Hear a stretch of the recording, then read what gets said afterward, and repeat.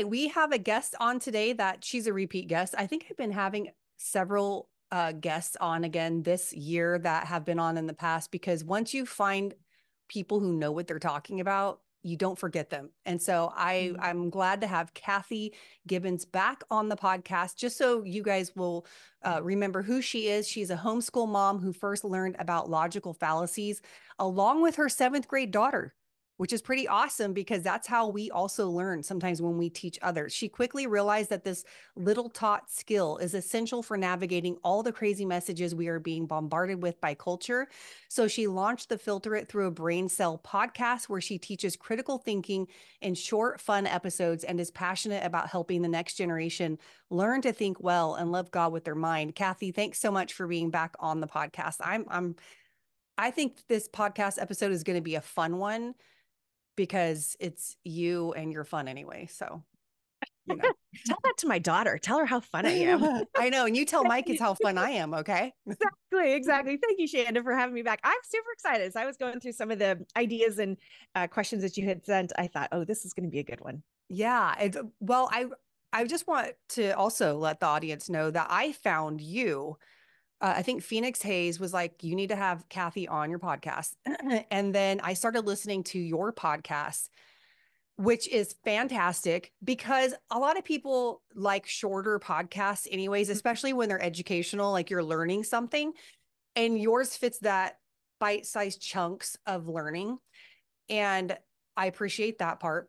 One, the other thing that I love is that I taught Train Your Brain and I used every one of your podcast episodes went into a suggested uh, resource for all of my students on every fallacy that I taught. And you have so much more, but you're just you're becoming that resource and people are know you now for providing the the logical fallacies through your podcast. So I appreciate that. I That's do. awesome. I no, I appreciate that. And that was my whole goal with starting it was I want this to be so like I'm I get it. I'm a mom. I have a teenage daughter. I also help my husband run his business. I have a podcast that I'm doing. I wanted something that was going to be very user friendly so that parents could hit play in the car on the way to soccer practice and really get something out of it. Um, and I also really wanted to create a resource. That's why, like, I'm going on episode 199 right now, and I'm thinking, goodness, how many logical fallacies are there and how many am I going to share? But I thought, no, this is a resource. This is, I want this to be something that people can access, that they can go back to, that they can search, re listen to. And so I'm really happy that you were able to use the podcast in that way with your course. I think that, um, anyways, that just made me really happy. So thanks for sharing that. Yeah, you're welcome. no, we talked about you a lot. And I, I told the parents they needed to, to use you as a resource because learning learning logic isn't like a one and done. I think it's something that you need to keep your mind sharp with. So that's why, yes. like you said, you could continue to implement these podcast episodes with weaving in these fallacies for who knows how long. I mean, not only that, the culture just keeps giving you information, I'm sure yes. you. So you have them to thank.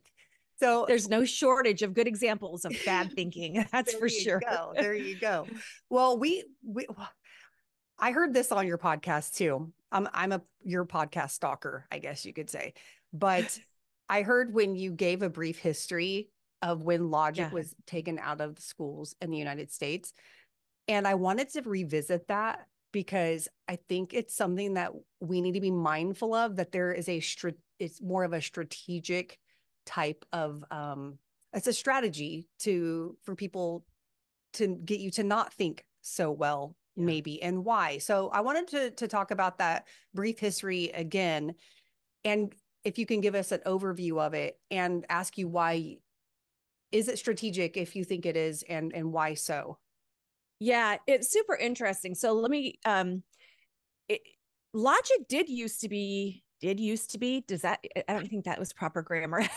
it's okay. I don't have proper grammar. yeah, logic used to be taught. It used to be considered to be important in the in the early colonies um, of the United States, and even in some of the early states.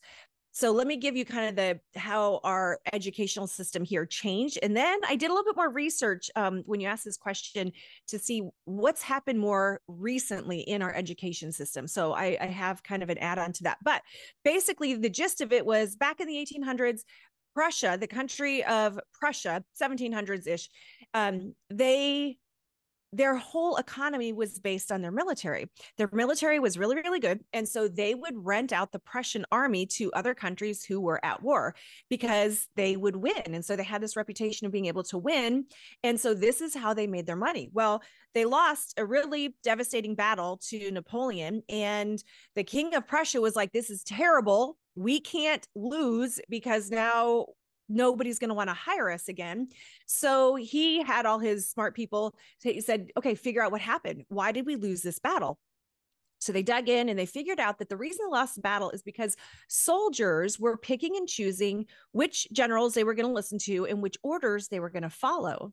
They were thinking for themselves. Now, in the military, that's not a good idea. It really isn't. My husband was in the army, and they have this saying that's at it goes salute and execute. When you're given an order, you are expected to say, yes, sir, and to do it, to not ask a million questions, to not question, to not think for yourself and come up with your own idea. You're supposed to just do what you're told, right? That's how they maintain military order and all that kind of thing. So he said, the king said, All right, well, we can't have this. So let's figure out what we need to do to raise a populace in our country so that by the time the men are of fighting age and are ready to join the army that they will just salute and execute. They won't pick and choose which orders that they're going to listen to. And so what they created is the modern day education system. They called it, it was like this um, factory type of education system where you put a kid in at, you know, four years old and they just kind of go through, and everything about the system was designed to spit out somebody who would take orders and execute very, very well. And it worked. So they were spitting out soldiers they were spitting out factory workers and bosses were happy employers were happy factories were happy the military generals were happy. And so countries from around the world said park. This looks like amazing. We want good workers. We want good soldiers. So they sent representatives to go and study this system. Horace Mann is the representative from the United States who went and he brought it back to the United States. And they first started it in Massachusetts. The parents did not want it. They even showed up at the schoolhouses, little one room schoolhouses that we used to have with guns saying, no, we don't want this. Well, as we all know, at uh, we did get it. This is our modern day educational school system is all based off this Prussian model. Now, even then, we still had logic as part of the required uh, learning studies. It was very important. It was very important to our founding fathers to understand logic and to learn it. Um, Benjamin Franklin, I think, even wrote a book about logic. So this was important to them. However, in the 19th century for whatever reason and this i'll just tell you what i found was the education reformers in the early 19th century decided that logic was not going to be required anymore because it had no social value now, I thought that was super interesting that the reasoning behind it were social reasons. They were letting what they felt like society, where society was at, dictate what they felt like was important rather than letting it letting say no these values are important so let's let that dictate and inform society. They had it backwards. So logic wasn't banned but it was no longer required. And so it kept getting pulled out getting pulled out because they wanted to let's push math or let's you know and then the late 19th century we had computers and right or all, all this other stuff i'm sorry i'm saying 19th century 20th century um, we had computers that came in and there was just all these other things that were considered to be more important or more career helpful or more socially informative and so logic just kind of went by the wayside. Now, not that you can't still get it. There's a few schools out there who still teach it, maybe some classical academies, some private schools might, some universities, but most of them are it's like a special class that you have to take and you're considered to be one of the really smart ones if you take it and mm-hmm. it's so so backwards. It used to be something that everybody got and everybody understood and everybody it was considered that it was important to be a you know a useful member of society to have the skill and we just don't have it anymore. So anyways just it's kind of crazy how that happened. It is and it's very interesting and i think it's important that we know it because we know the there was a a systematic process to it yes. as well. And it was very strategic in the sense of, oh, look at what they're doing. Let's go implement that here. So we have people who comply more rather than think for themselves. Yes. And if you want people to comply, all you have to do is throw logic out the window and use all these appeals to emotion and you know fear mm-hmm. and all of that which we might we might get into it depends upon which fallacies you and i want to discuss here yes. in, in, a, a few questions later but now switching over to the church itself i mm. i don't know if your observation would be the same as mine it might just depends upon depend upon maybe our experiences with diff, different yeah. church backgrounds that we were raised in or grew up in or you know have been to but I don't know that I see a lot of Christians emphasizing the the need to think well and to train their their brain. And not only that as far as you know training in, in logic and things i've heard the the terminology to love god with your heart and the heart is always mentioned in church like giving your heart to jesus. And i guess there you know you could say that's holistic of the whole person but I think it can be misunderstood if people don't don't take it that way. If they're not truly understanding that when you say heart, it embodies the whole person, including their mind. So, and I don't believe for a minute that God meant to compartmentalize the heart, mind, and soul when he said to love the, you know, the Lord with with all of those things. He's saying it's a whole person commitment and relationship. But I think it gets lost in translation when we use terminology like loving God with your heart. Why do you think it's imperative that we as the church emphasize learning how to think well in the culture that we're in? Oh my goodness. And I was just um, looking up the reference. Okay, there we go. Yeah, Matthew. So Matthew uh, 22, 37 through 39, right? Thou shalt love the Lord God with all thy heart, and with all thy soul and with all thy mind. And so to me, I think I think that is a key aspect that people are missing. Okay, so I've got a couple a couple ways I want to go with this. So number 1, I think the reason that it, you know, and again, like you said, this isn't every single church out there, obviously, but this is, I think, a very common thing. And I think the reason that we aren't seeing it as much in churches is because we all grew up in that same school system. Mm. Right. We all grew up in a school system that trained us. I mean, think about it. Lots of churches, probably most church I've ever been to, is set up kind of like a classroom. The people are in the audience, they're facing one person up on the stage who's talking and telling them and teaching. And we are trained that when in that environment, um, the teacher gets up, teaches us what we quote unquote need to know. We sit and we take it.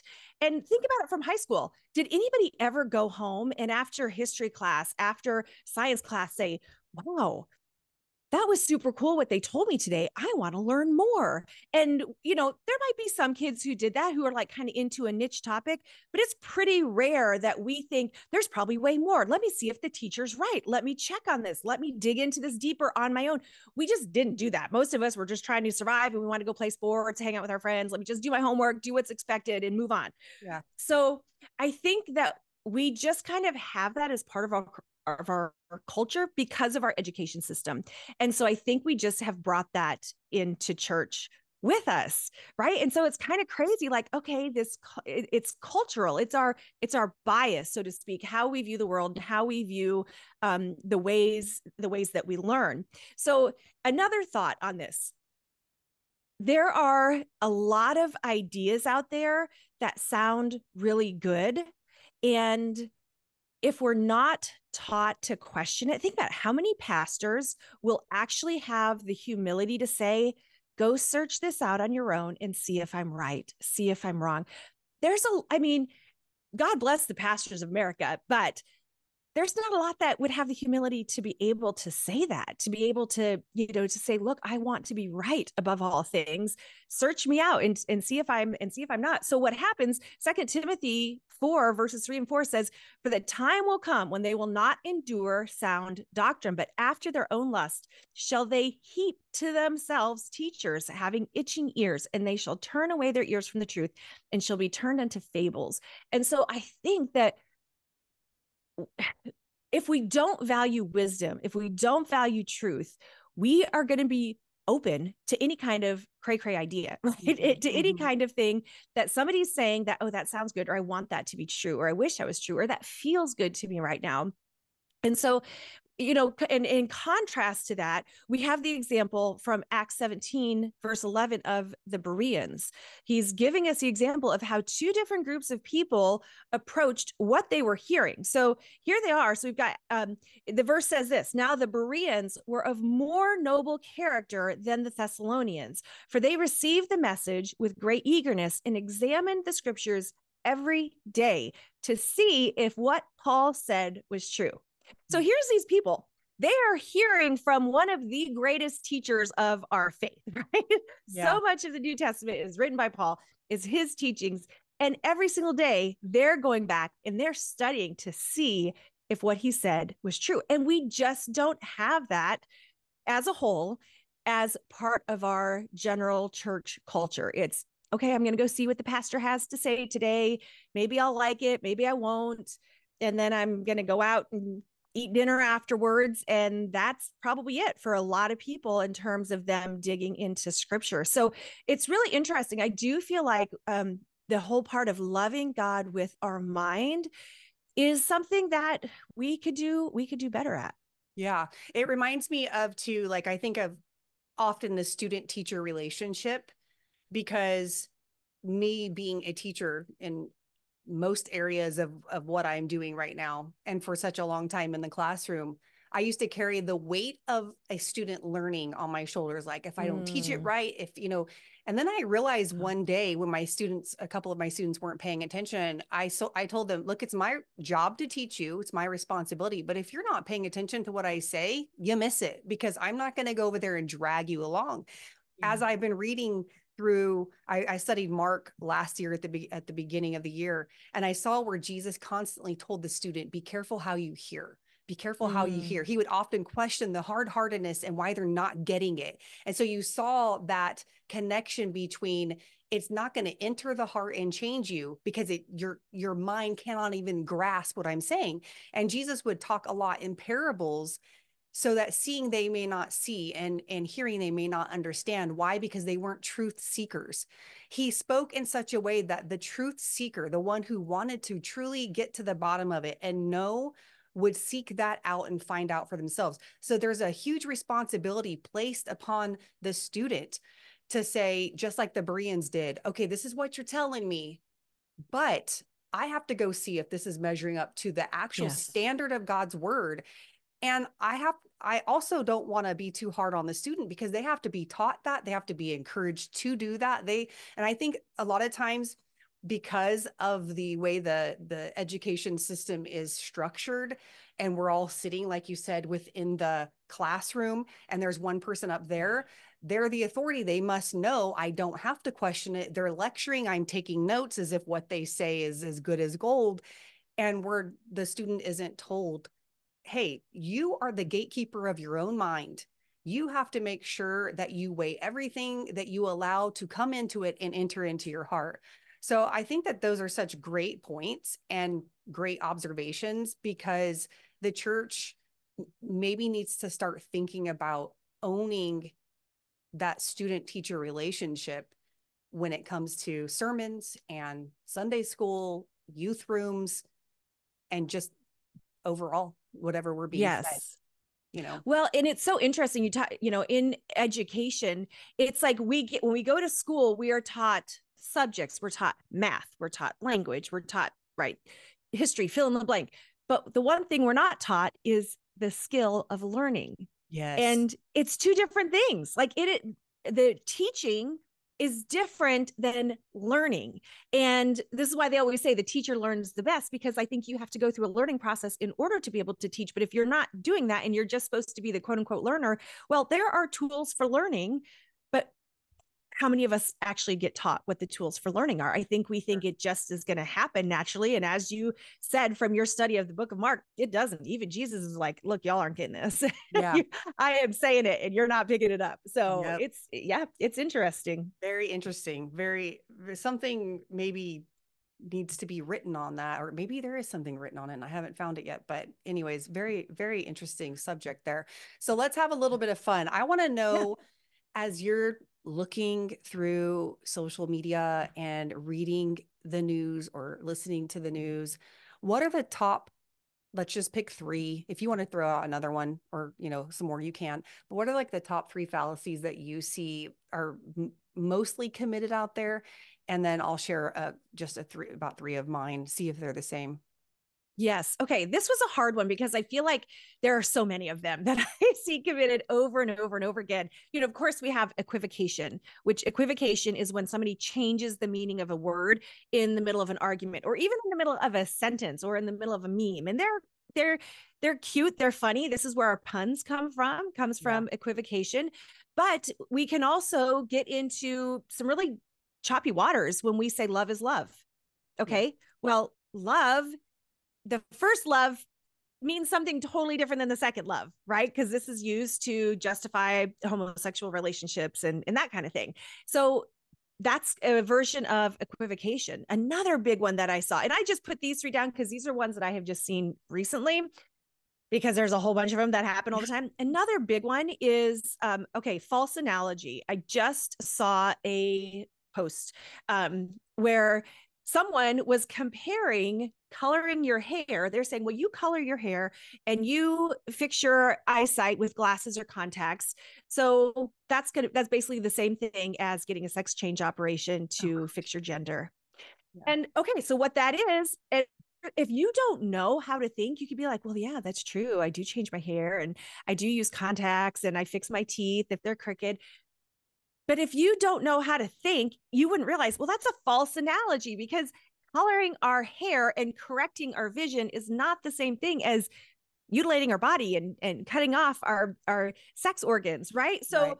that's a false analogy. That is a another fallacy um, that I that I see. I've got two more, but which ones yeah, have sure. you seen, Shanda? Well, I think because I'm on YouTube often with even today I was getting notified after reels were posted and I'll see a lot of straw men or I'll mm-hmm. see uh red herrings for sure. It's like oh yes. When we're talking about like prayer, somebody will come up and completely change the subject or go in a different direction. I'm like, dude, what does that have to do with this? You know, like God doesn't exist, why do we have to pray? Or, you know, it's just like um those two, but I also see I was listening to a um a presidential speech today by Joe Biden. And there was so much, so many appeals to fear in there. Yes. What I would call appeal to fear. Maybe you want, want to just generalize it, maybe appeal to emotion because it'll be like a stirring up of something where it's like, and if this doesn't happen, they want to put you in cages again, you know, something to that effect, where it's like, it's it's going both directions where all it is is emotion and just statements that have no merit, no evidence, nothing to back it up. But it's to stir the crowd on to hopefully get this end result of voting for me in this this yes. election. And yes. I'm not saying Joe Biden's the only one who does it when it comes to politics or even just posting something on social media, but we're going to see that a lot this year in 2024. And I would say um you know, if you feel like you think, oh my gosh, like there's, I think there are some people that I get my news from at times. Well, I, I don't know if I want to say that. Okay, that's giving a little too much credit. I do follow them on Instagram and I'll be like, look what's happening right now in, you know, Brooklyn, New York, or whatever. Yeah. yeah. And I'm just like, dude, stop already. It's it's got to be this hyper awareness of this emotional stirring to get you to be like, what's going on in Brooklyn right now? You know? And I feel like even they do it. So you, they constantly get the views and things. Yeah. So there are so many times now recently when I've been like, I am so tired of seeing your just this is so like it's a sensational sensationalism you know yeah. so i would say those i think the reason why i see those uh the straw men or the red herrings a lot on youtube is because people don't say a lot they just want to slam whatever you're saying and then they get off and they're not speaking to the subject and they're trying to divert the conversation to some and get you totally off base and it's like that's not what I'm talking about. I will not answer that. I will not rebut that. If you want to know about the existence of God, go watch Frank's videos on cross examine yeah. or listen to past episodes, but I'm not going to waste my time. So, no, a hundred percent. No, you're right. And the sensationalism and the appeal, I would call it an appeal to outrage. in yeah. some of these instances, it happens um, on, on, both sides. So here's another one uh, that I've been seeing a lot is the moralistic fallacy. And the moralistic fallacy says that because I think something is right or I think something should be right, therefore it is right? Mm-hmm. So, for instance, we saw this when Roe versus Wade got overturned. There's this famous picture you could you could find it um, of this woman. She was protesting and she was visibly pregnant, and she had written in paint on her belly, "Not a human" or "Not yet a human." And I thought, oh, there you go. This is, and she had a baby already in a stroller. So it's not even like this was her first one. And I thought, that's it. This is, she believes she wants abortion to be right. She wants the ability to kill an unborn child to be right so much that she is saying that it's not even a human yet because she thinks it should be right because she thinks this is how it this is how it should be and we see the moralistic fallacy. I think it, so therefore it must be or it should be. And um, another one, presentism. Okay, this is a big one. This is a way of analyzing history and looking at history where we interpret the past through our present day attitudes and moral values and standards. So, this is why we look back and we'll look at things that happened in the past and we'll say how terrible they are or how awful or how could we ever think believe anything? Our founding fathers right? All this stuff because we're looking at it through our values now. We're not looking at it through the values of society at that time. And obviously not that we're always going to agree with everything that happened in history but it's where we take what we think our values are and it can happen now. So people who are going down one road in progressive um, ideology they can look back at their parents and judge their parents based on the values that they hold now. And, and it's just it's this whole crazy idea of everything has to be filtered through my thoughts through my feelings through what i think is right through what i think is true.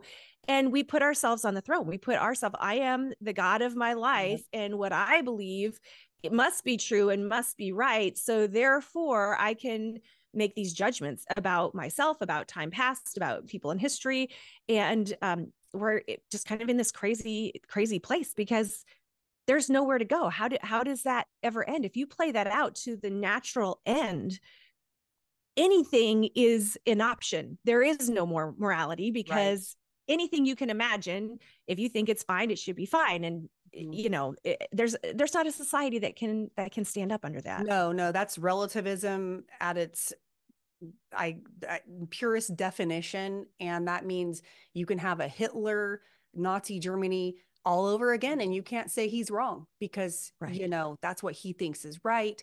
I have a little middle schooler, eleven year old, in my Let's Get Real class, and we had our first uh, class session the other night, and she is she's struggling with wondering if God exists and our first lesson was uh, Does truth exist?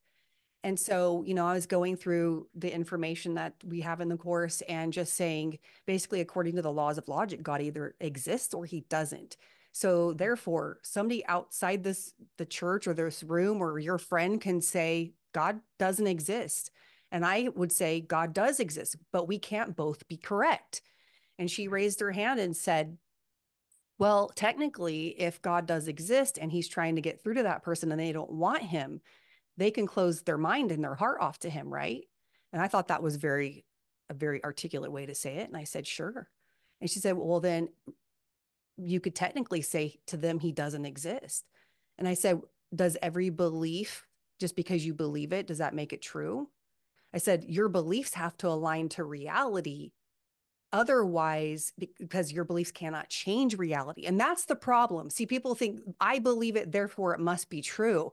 Yep. But we have to evaluate our beliefs and ask, are they true? And not only we have do we have to ask, are they true? We have to say, what is the source of this belief? Where did I even come to this conclusion? Because a belief is a conclusion that you make about life, yeah. about God, about things what source fed this belief? Because can i rely on that source? And when you follow that back to its to its beginning we're going to have god and satan standing in the garden.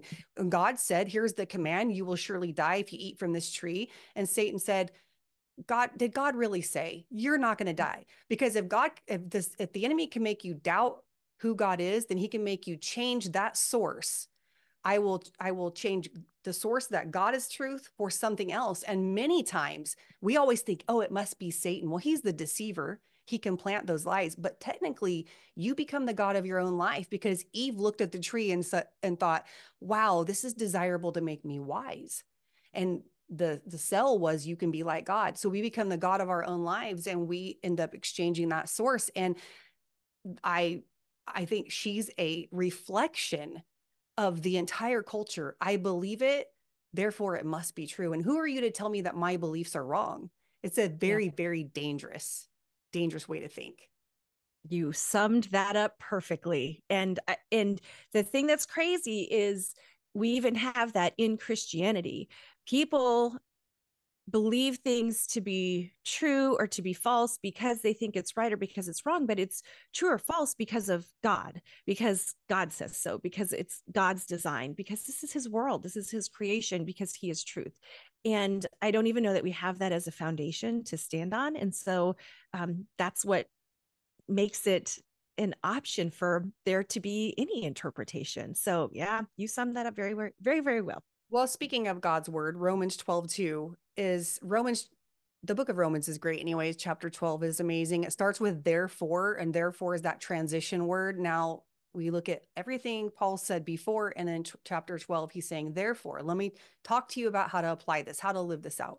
And he talks about how we are to transform the mind or be transformed by the renewing of our minds because everything was affected by the fall, including our minds. And I know this is done by the Holy Spirit. So I don't want to take that away and be like, just learn logic and you don't need the Holy Spirit. I that's that's not true and that's not what we're saying. Just wanted to make that clear. But what responsibility do we have as Christians um, to be intentional about the transformation of our minds? Yes, I think we have a huge responsibility. The verse that popped up to me is mm-hmm. Second Corinthians 10 5 we demolish arguments and every pretension that sets itself up against the knowledge of God, and we take captive every thought to make it obedient to Christ. And I thought, wow, that is some really strong language. That is almost military fighting language right there. Take captive not just some thoughts, every thought to make it obedient to Christ. And one of the ways that it has so so this is very active on our part. This yeah. implies we are doing something. We are actively choosing and setting our hearts and setting our minds that we are going to do something and we're going to take our thoughts captive. We're not going to let them run us but we are going to exercise dominion over our thoughts and we are going to make it obedient to christ. So that means checking scripture. Is this thought in alignment with scripture? Is this thought in alignment with truth right? Where what does this even look like? Ask the question. The question I always ask my podcast: Is it really true? And so, to me, this is a very active thing that we're doing.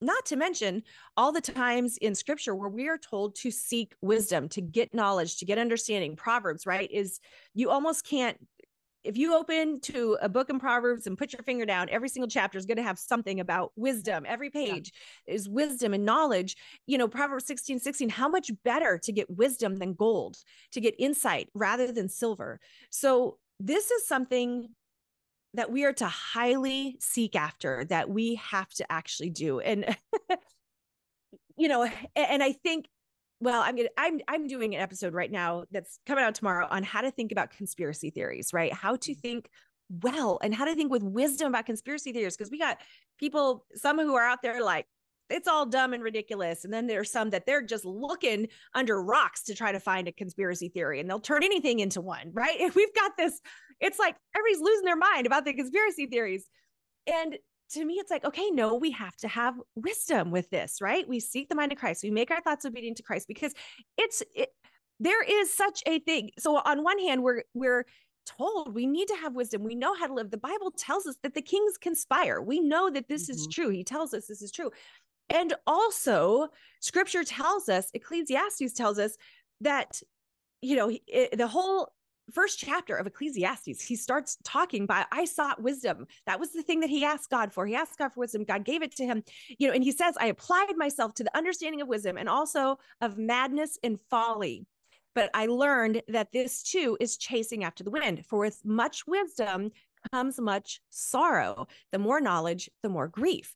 and this is where I think as Christians, why we have to bring our thoughts under the obedience of Christ, because we don't want to be so captivated by just every idea that's out there or conspiracy theories under rocks and i have to know everything about about everything and like you said being on the on the news and following people on social media where it's like we can know something that's going on all around the world at the same time right now.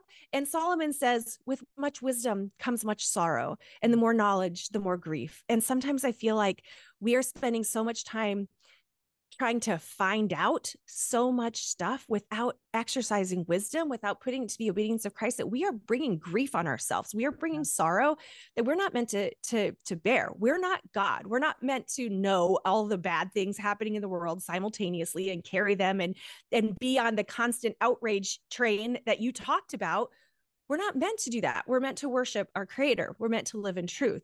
You know, I have been uh, convicted by this. Have I spent as much time in scripture as I have spent, you know, looking at the news and seeing what's going on in the world and going down rabbit holes?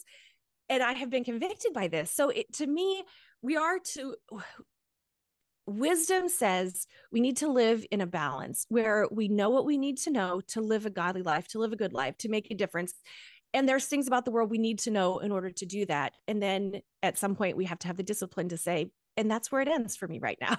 Yeah. so, anyways, I kind of went on a little that's bit of a tangent good. No, there. I love it. I love it. I love that you're doing a podcast episode on that. That's going to be fantastic. Yeah, I, I just got to interview um, Connor Boyack from Tuttle Twins on he wrote a book on conspiracy theories. I've been wanting to do how to think about conspiracy theories because goodness knows this is like a thing these days. Yeah. And people are on all sides. People like, yeah, they're all true, every single one of them. And then there's some like they're all ridiculous and you're an idiot if you believe them. And I thought, okay, we have to know how to think about this well. So yeah. yeah. That's so good. My niece said the other day because uh, my parents took my son and a couple of my nieces and nephews to New York in December and I was like, "Oh man, you know, I'm not sure about New York right now. Things I I've seen like you said the protests and different things going on."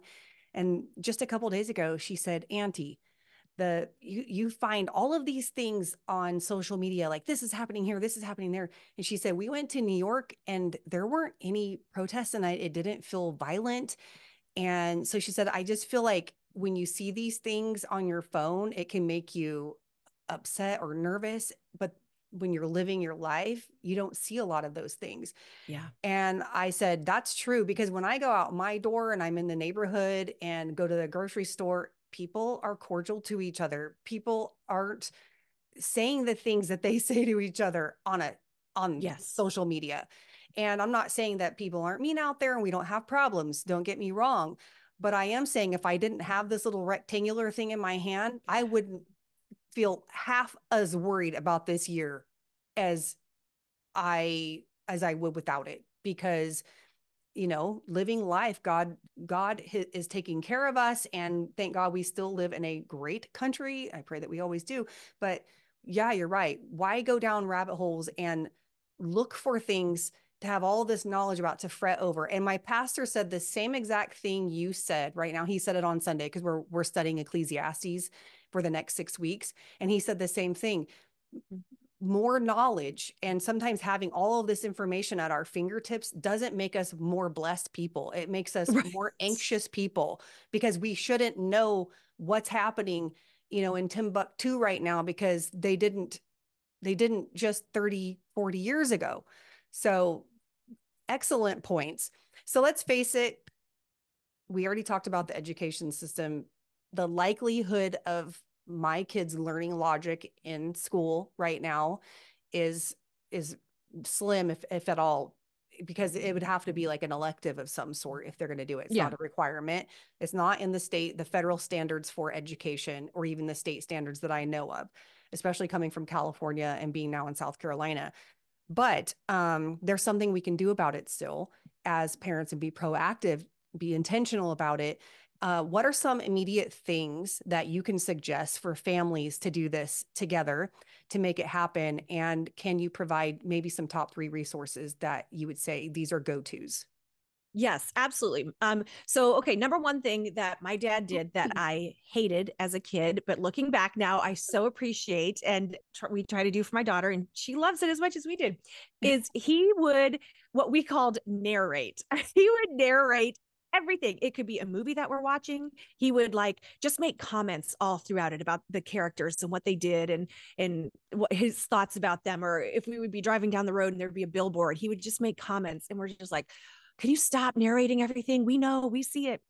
But what he was doing is he was imparting his worldview to us through daily life, right? Because it's we we all think that how are we going to teach our kids? Oh, we're going to sit them down and let's have this big conversation about well, that doesn't work with teenagers. They don't want to sit down and have your big lecture, right? Right. So what he did is he was just constantly telling us his worldview. He was teaching us how he looks at and thinks about the world.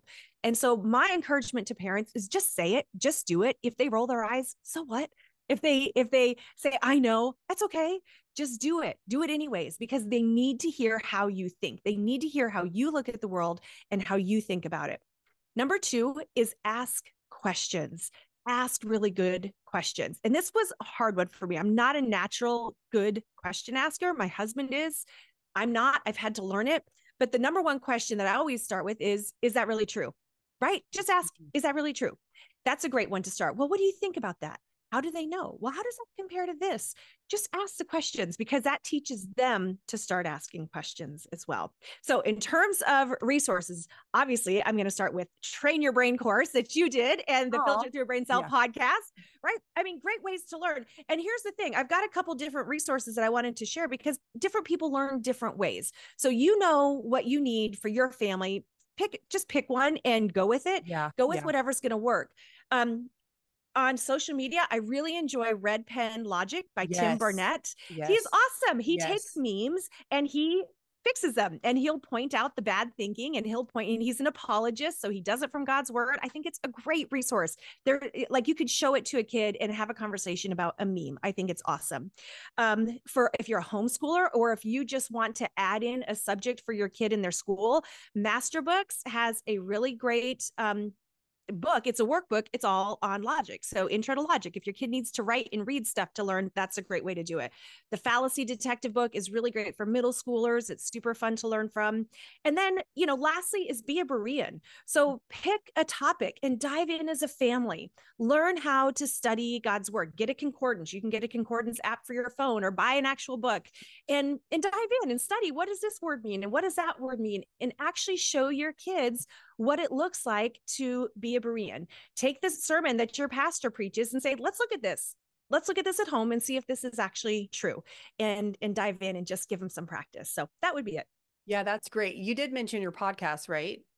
Uh, yes, filter okay, through good, brain cell. Good. Yeah. And I, yep. I can't speak highly enough about it. And maybe it's good that I I can take over that that part of it from here. But while I, I take my middle schooler to school and pick him up, and he took train your brain uh, with me, but what I love about it is that he's always identifying fallacies now, but you you on on yours you go through much more than we even put in to train your brain.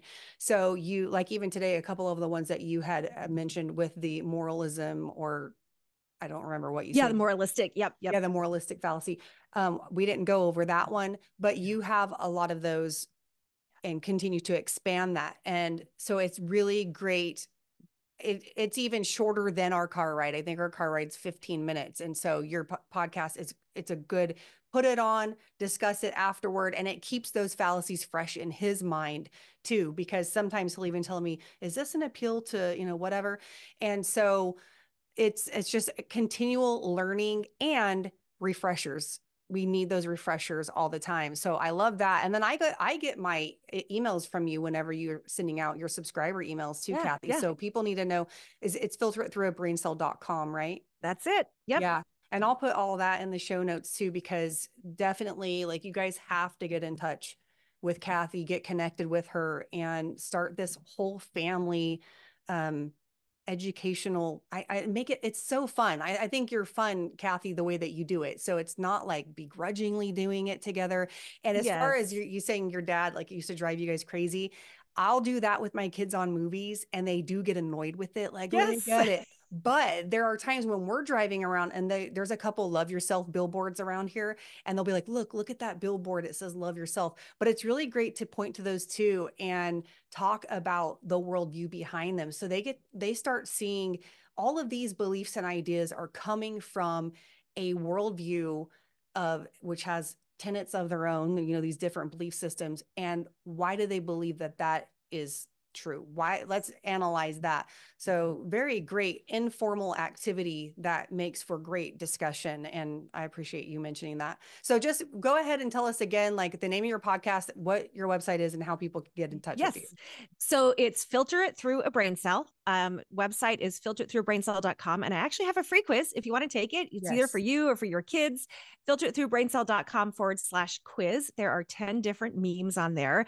And um, see how you do at, at guessing which fallacy is in each meme. So yeah, it's super fun. Yeah, that's awesome. Well, I'm so thankful that Kathy was back on the the show today. I love talking to her, love following her, mm. listening to her and learning from her and you can too. So I'll have all that information in the show notes if you have any questions for her, but I can't I can't encourage you enough to take their reins this year and say, how are, is my family going to learn to love God with all of our mind and give God the opportunity to transform our mind as we dive in and become students if, in logic and good thinking. If you have any questions for me, you can email me at hello at shandafulbright.com and I'll catch you on the next one.